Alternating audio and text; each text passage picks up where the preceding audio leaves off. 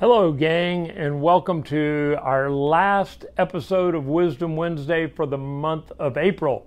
Can't believe April just kind of whizzed by, um, but it has, and so I'm going to miss this conductor's cap. But uh, uh, our theme or our motto for the month of April was hop on board. I'm going to miss that train whistle too. but we got a fun motto coming up uh, next month in May that I might as well go ahead and uh, break into because uh, we've been talking about hop on board. And when we get into our little scientific session here in a couple of seconds, we're going to hop on board the oral systemic connection one last time for the month of April. But May, as you may know, if you're a horse racing fan, the Kentucky Derby is coming up this Saturday. It's always the first Saturday in May happens to be May 1st this year, so couldn't cut it much closer than that. I love the Kentucky Derby, uh, fastest two minutes and richest two minutes in sports.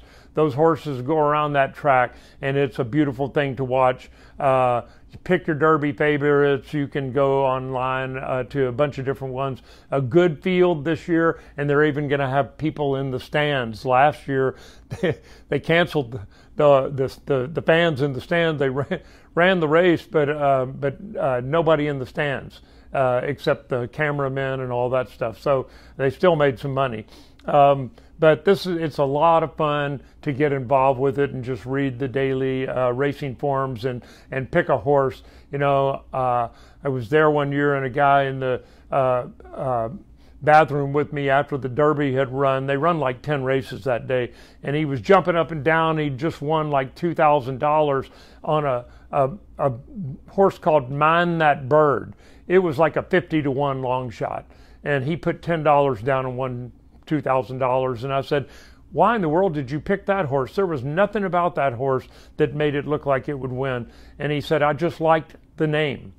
So it's about as scientific as that. Uh, there's a reason why they call them dumb animals because they don't know that they're not supposed to win. So they just take off and run. And different ones run different in muddy tracks compared to fast tracks, compared to really muddy tracks, what they call sloppy tracks. So anyway, if you're into that stuff at all, or just like a good two-minute race, it's about 4.35 o'clock on Saturday afternoon, uh, and that'll have something to do with our um, motto for May. But uh, you'll have to wait till next week, which will also will be celebrating Cinco de Mayo here in Austin Dental Spa. So I might have a margarita in my hand next week uh, for Wisdom Wednesday. But our last uh, version of, uh, of Hop on Board, we're going to hop on board the, uh, dang, I'm going to miss that train whistle.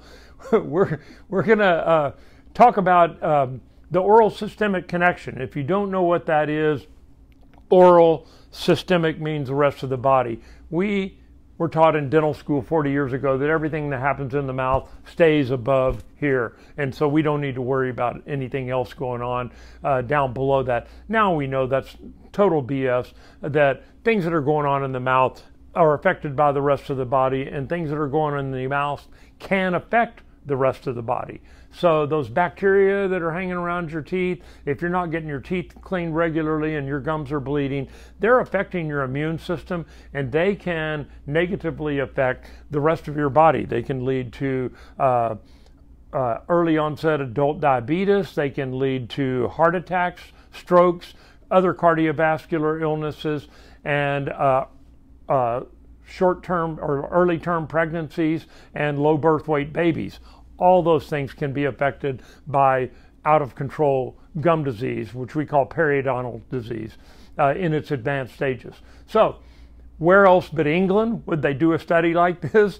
They just came out with a study, only 250 people in the study, but they they had half the adults, all median age 35. So that meant some are a little older than 35, some a little under, but the the average age between the the participants. So they were all adults basically, all from England, uh, uh, I assume. Half the people had severe out of control periodontal disease. The other half had healthy mouths and and were healthy otherwise, no comorbidities or health issues. And they followed these people for several months, and they found that the people with healthy mouths had lower blood pressure. They were checking it like several times a week.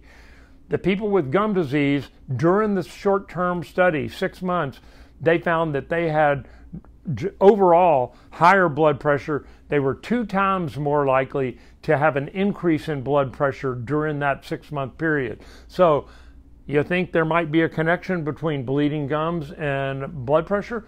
I, I think so. The systolic numbers were in the 170s on the people with gum disease. So those bacteria aren't just staying in the mouth, they're traveling throughout your system. The higher number in a blood pressure, the systolic, is how hard your blood I mean, your heart can pump the blood, how much pressure it puts to push the blood through your system. The diastolic, the lower number, is how quickly and how well your your arteries and your veins recover, how they how they snap back. So, in a nutshell, that's what blood pressure is all about, and it's it's most important to not just check it once, but to check it over a period of time on a regular basis and see if there's changes, and they certainly found changes. So you can't call it a causative factor that because they had gum disease, they had higher blood pressure, but there definitely is an association or a link because out of 250 people, half of which had gum disease, all the people with gum disease had higher blood pressures. So it's just another reason to take care of your mouth, take care of your body. Um, there is a link between uh, obesity and high blood pressure as well, but that's beyond the scope of what we're talking about today. I'm not a cardiologist, uh, I'm just a measly dentist, but I hope that's been some helpful information for you. Um, I, we always give a little health tip. My health tip today, because we've had so many people, we're just starting to see some people uh, in the last month that have had both vaccines have waited their two weeks and now they're just coming in to the dental office. They've been holed up at home for uh, 13 months now. And so they're just coming in, and I asked them, What did you do all day long? They sat and watched TV or they worked on their computer. Those are the two main activities, and sleeping and drinking. Uh, so, anyway, uh, I go to a stretcher. You may or may not know, but I have a patient that is a professional stretcher, and I go to see him every Friday just to try to get some more mileage out of this old body. And he's shown me this stretch that you can do right at home on a tabletop or on your desk to just stand up, put your hands out like this where your thumbs are out. Uh, it's better on a flat surface so that your your fingers, your little fingers are matched together, and to just stretch like this. Just lean forward and bend your elbows in and stretch out. I can feel that all the way up through here and on the backs of my arms too. And to just do that for 10 seconds, see how far down you can get, and just hold it there for 10 15 seconds, just like that. And stretching in like that, and bend your el- your elbows into your body, and just stretch like that you'd be amazed at how freeing that is to those tendons and ligaments in in your wrists, in your hands, in your elbows, all the way up to your shoulders. So that's my health tip. Stretch. Stretch for several minutes a day. You can get up and do that a couple of times a day when you're getting up or when you're sitting down at your computer to just put your hands out and stretch like that. See if it doesn't make a difference. I try to do that multiple times a day. So uh, and it has definitely helped. Uh, dentists don't like, uh, I mean, patients don't like dentists that can't use their hands well. So um, that's my health tip for the week. Hope y'all had a great month of April. We'll look forward to seeing you next Wednesday in the month of May, and which I'll announce not only our Cinco de Mayo celebration, but also our motto for the month of May. It'll have something to do with horses. So uh, we'll be horsing around the whole month. So see you next week.